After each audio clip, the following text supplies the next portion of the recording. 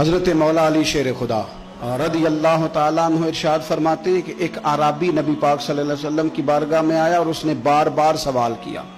ये मजमू जवायद में हदीस मौजूद है, रावी है मौला अली शेर खुदा।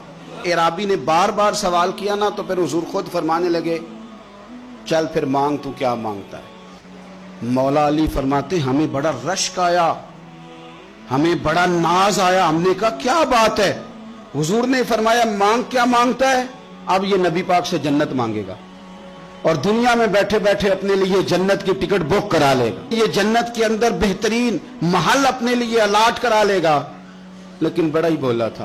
कहने लगा, या रसूल अल्लाह सल्लल्लाहु अलैहि वसल्लम, मैंने सफ़र करना है, मुझे सवारी के लिए एक ऊँट दे दे। तो हज़रत अली फरमाते हैं, उसने सवाल तो किया, पर जो हमारी तबीयत थी, उस मुताबिक उसने नहीं किया। यानी जिस तरह का दरवाज़ा था, उस तरह की भीख नहीं मांगी। उसने ऊँट मांगा, हजूर ने फरमाया, चल दिया तुझे। फरमाया, चल, ऊँट दे दिया, अब तू कुछ और भी मांग लो। हज़रत अली कहने लगे, लो, बड़े नसीब वाला, एक चांस और मिला तो कहने लगा, हजूर, इस तरह करें, जो ऊँट पर कजावा बांधा जाता है, वो भी दे दे। तो हज़रत अली शेर खुदा फरमाने लगे, हमने कहा तेरा अल्लाह भला करे। तू कहाँ अड़ गया हजूर ने ना मुस्कुरा के एक तीसरा मौका दिया। फरमाया, चल, तुझे कजावा भी दिया, कुछ और मांग ले। कहने लगा हजूर सफ़र बड़ा लंबा आने जाने का खर्चा भी दे दे। तो सरकार दो आलम वसल्लम मुस्कुराए, फरमाया, जा तुझे दिया। फिर हुजूर ने एक मिसाल बयान की और फरमाया तुझ से तो बनी इसराइल की वो बूढ़ी ही अच्छी थी। या रसूल अल्लाह कौन सी? फरमाया, हज़रत मूसा सलाम जब अपने वतन से हिजरत कर रहे थे, घोड़ों पर बैठे, ऊंटों पर बैठे, लेकिन ऊँट घोड़े जाते नहीं थे, वापस लौटते थे। तो हज़रत मूसा ने अर्ज़ की अल्लाह, ये जाते क्यों नहीं? तो रब करीम ने फरमाया इसलिए नहीं जाते, कि जहाँ से आप हिजरत कर रहे हैं ना, वहाँ एक जगह पे हज़रत यूसुफ सलाम का ताबूत दफन है। जनाब यूसुफ सलाम की कब्र मुबारक है। आप वो ताबूत भी निकाल के साथ ले जाएँ। ये अगर रब ने बता दिया तो अल्लाह ये भी तो बता सकता है ना कि कब्र कहाँ है। ये बता दिया, ताबूत ले जाए, ये नहीं बताया कहाँ है। ये हज़रत मूसा सलाम आप खुद तलाश करेंगे तो हज़रत मूसा सलाम ने बनी इसराइल के लोगों से पूछा कि वो कहाँ है ताबूत? हज़रत यूसुफ का तो वो कहने लगे, हमें तो नहीं पता एक बूढ़ी अम्मा है, पुरानी। उसे पता है। हज़रत मूसा सलाम उस बूढ़ी से मिले तो फरमाया, बता दे कि वो ताबूत कहाँ है? हज़रत यूसुफ की कब्र कहाँ है?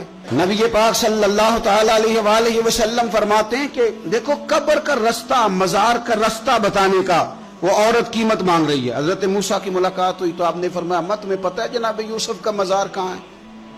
कबर कहाँ है? कहने लगी, पता है। आपने फरमाया, बता दे। कहने लगी, मुफ़्त कैसे बता दू? की तो हज़रत मूसा फरमाने लगे, कीमत ले ले। कहने लगी, बिल्कुल, आप कीमत देंगे तो बताऊँगी। फरमाया, कीमत क्या है?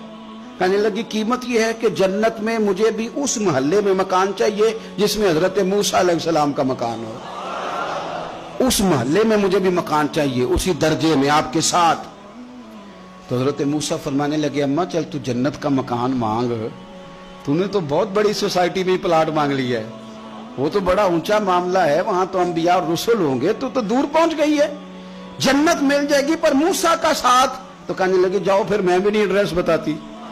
पता तो मेरे पास ही है ना, और किसी को है पता? तो हजूर फरमाने लगे, तुझसे तो वो बूढ़ी अच्छी थी। जब वो बीबी अड़ गई, कहने लगी, नहीं बताती। तो हज़रत मूसा सलाम अर्ज़ करने लगे, मालिक, अब क्या करना है? तो रब करीम ने फरमाया, मूसा, जन्नत में अपने पड़ोस वाले मकान का वादा आप कर ले और बूढ़ी को वो मकान अता मैं कर दूँगा। आप वो मकान का वादा कर ले, दे देंगे। हज़रत मूसा ने वादा किया। फिर बीबी ने पता बताया हज़रत यूसुफ के मजार का। और फिर वहाँ से हज़रत यूसुफ का ताबूत निकाल के ले गए। हजूर फरमाने लगे और बोले, तूने क्या मांगा? ऊँट, कजावा, खर्चा?